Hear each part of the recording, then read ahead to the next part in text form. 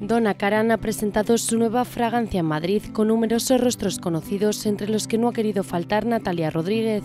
La exconcursante de Operación Triunfo se encuentra muy feliz junto a su pareja, el futbolista Alejandro Pérez, y aunque tras 11 años de relación todavía no suenan campanas de boda, la cantante ha comentado que empiezan a pensar en ello.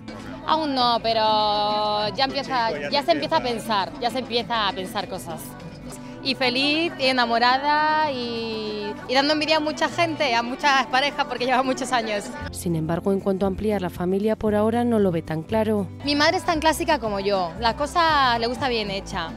Casarse y luego tener hijos, así que hasta que yo no pase por el altar, a no ser que haya un accidente, que no creo que los haya. Sobre el accidente de su amigo Manu Tenorio, Natalia ha confesado que se encuentra bien.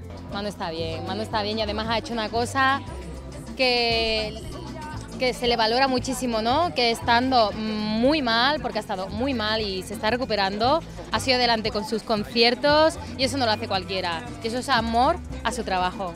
Además, con motivo del comienzo de la nueva edición de OT, Natalia ha reconocido que vive el programa con nervios y siente mucha empatía con los concursantes, puesto que hace un viaje en el tiempo en el que parece que no hayan pasado 17 años desde que ella estuvo aprendiendo en la academia.